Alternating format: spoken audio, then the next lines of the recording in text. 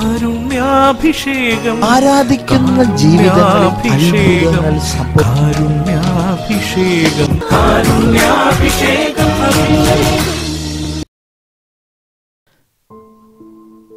ഈശോയിൽ ഏറ്റവും പ്രിയമുള്ള ദൈവമക്കളെ കാത്തിരിക്കാൻ വളരെ പ്രയാസകരമാണ്. ബസ് വരാൻ അല്പം വൈകിയാൽ. നമ്മൾ കാണാൻ ചെന്ന ഒരു ആൾ ഒരു വ്യക്തി സർക്കാർ ഉദ്യോഗസ്ഥനാകാം അല്ലെങ്കിൽ ഒരു വൈദികനാകാം അധ്യാപകനാകാം ആരെങ്കിലും ആയിക്കോട്ടെ. അപ്പോൾ നമ്മൾ കാണാനായിട്ട് ചെന്നു. പക്ഷേ ആ വ്യക്തി വേറൊരു വ്യക്തിയുമായി സംസാരിച്ചുകൊണ്ടിരിക്കുമ്പോൾ നമ്മൾ പുറത്തിങ്ങനെ അക്ഷമരായി മാറും. കാരണം സമയം പോകുന്നു സമയം വരുന്നില്ലല്ലോ. പക്ഷെ നമ്മൾ അതിന്റെ ഉള്ളിലേക്ക് പ്രവേശിച്ച് ആ വ്യക്തിയുമായി ദീ- എത്ര സമയം വേണമെങ്കിൽ സംസാരിക്കാൻ നമുക്കൊരു പ്രയാസമില്ല. പക്ഷേ പുറത്ത് ആ വ്യക്തിക്ക് വേണ്ടി കാത്തിരിക്കുമ്പോൾ ഉണ്ടാകുന്ന ഒരു അസ്വസ്ഥത നമുക്കറിയാം. അല്ലെങ്കിൽ ഡോക്ടർമാരെ കാണാൻ നീണ്ട ക്യൂ ആണ്. അപ്പോൾ നമുക്ക് ഭയങ്കര അസ്വസ്ഥത. ഇത് നമ്മുടെ ഉള്ളിലെ അസ്വസ്ഥതയാണ് ഇത് വ്യക്തമാകുന്നത്. കാത്തിരിക്കാൻ പറ്റുന്നില്ല. ദൈവം ഹോസിയ പ്രവാചകനിലൂടെ നമ്മളോട് അരുളി ചെയ്യുന്ന ഒരു കാര്യം ഇതാണ്. ദൈവാനുഗ്രഹത്തിന് വേണ്ടി എന്ത് ചെയ്യണമെന്ന് ചോദിക്കുമ്പോൾ ദൈവം നമ്മളോട് പറയുന്ന കാര്യം ഇതാണ്. നിന്റെ ദൈവത്തിന്റെ സഹായത്തോടെ തിരിച്ചു വരിക. അത് നമ്മൾ ദൈവത്തിന്റെ അരികിലേക്ക് വരുന്നത് തന്നെ ദൈവത്തിന്റെ സഹായം നമുക്ക് ആവശ്യമാണ്. ദൈവത്തിന്റെ സഹായം കൂടാതെ ആർക്കും ദൈവത്തിന്റെ അടുത്തേക്ക് വരാൻ പറ്റുകയില്ല. ഈശോ തന്നെ പറയുന്നുണ്ട് യോഹന്നാന്റെ സുവിശേഷം ആറാം അധ്യായത്തിൽ എന്റെ സ്വർഗസ്ഥനായ പിതാവ് ആകർഷിച്ചാലല്ലാതെ ഒരുവനും എന്റെ അടുക്കിലേക്ക് വരികയില്ല. അപ്പോൾ ദൈവത്തിന്റെ ഒരു ആകർഷണമാണ് നാം ദൈവത്തിന്റെ അരികിലേക്ക് എത്തുന്നത്. അപ്പം അതിനു വേണ്ടി നമ്മൾ പ്രാർത്ഥിക്കുക തന്നെ വേണം. ദൈവം നമ്മളെ ആകർഷിക്കാൻ വേണ്ടി പ്രാർത്ഥിക്കണം. ഇരുമ്പിനെ കാന്തം ആകർഷിക്കുന്നത് എന്തുകൊണ്ടാണ് കാന്തം ആകർഷിക്കുവാനുള്ള ആ ഒരു ശക്തി ഈ ഇരുമ്പിലുണ്ട്. ആ ഇരുമ്പിന് പകരം വേറെ ഒരു മെറ്റലാണെങ്കിൽ വേറൊരു വസ്തുവാണെങ്കിൽ അത് ആകർഷിക്കില്ല. അപ്പോൾ നമ്മൾ കൊച്ചു പ്രായത്തിലൊക്കെ കുട്ടികൾ ഈ മണൽ തരികളൊക്കെ എടുത്ത് കടലാസിന്റെ മുകളിൽ വെച്ച് കാന്തം കിട്ടിക്കഴിഞ്ഞാൽ എങ്ങനെയെങ്കിലും അതിന്റെ അപ്പോൾ അതിൽ ഇരുമ്പ് തരികളൊക്കെ ഇങ്ങനെ എഴുന്നേറ്റ് നിന്ന് കാന്തം പോകുന്നിടത്തേക്ക് വരാറുണ്ട്. അപ്പോൾ ദൈവം നമ്മളെ ആകർഷിക്കുവാനുള്ള ഒരു കൃപ നമുക്കുണ്ടാകണം. ഹോസിയ പ്രവാചകനോട് പറയുകയാണ് നിന്റെ ദൈവത്തിന്റെ സഹായം അപ്പം നമ്മൾ ദൈവത്തിന്റെ സഹായം ആഗ്രഹിക്കണം ആവശ്യപ്പെടണം.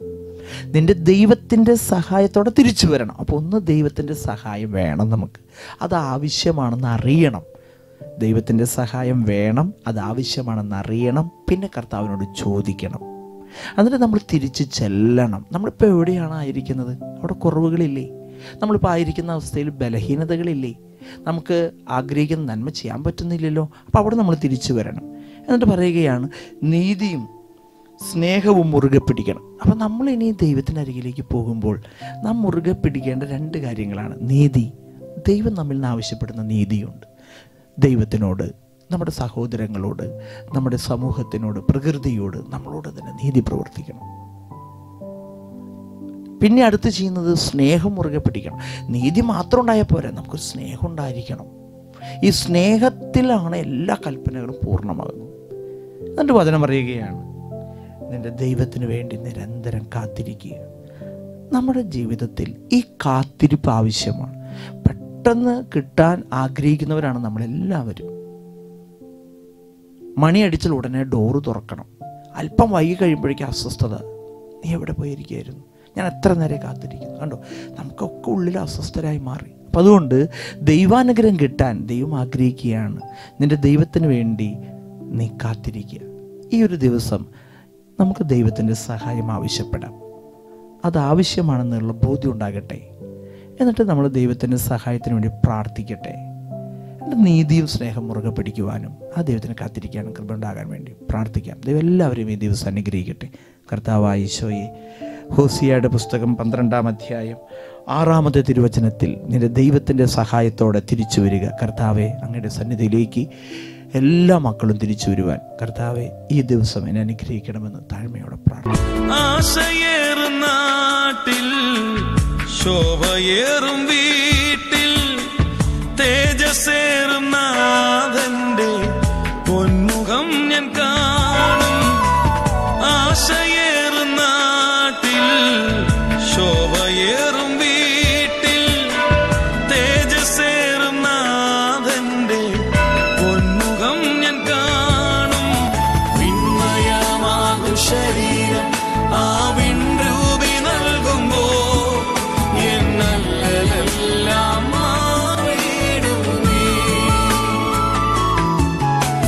പരിശുദ്ധ പരമദിവ്യ കാരുണ്യത്തിന് എന്നേരം ആരാധനയും സ്തുതിയും പുകഴ്ചയുണ്ടായിരിക്കും പരിശുദ്ധ പരമദിവ്യ കാരുണ്യത്തിന് എന്നേരവും ആരാധനയും സ്തുതിയും പുകഴ്ചയുണ്ടായിരിക്കട്ടെ പരിശുദ്ധ പരമദിവ്യ കാരുണ്യത്തിന് എന്നേരം ആരാധനയും സ്തുതിയും പുകഴ്ചയും ഉണ്ടായിരിക്കട്ടെ.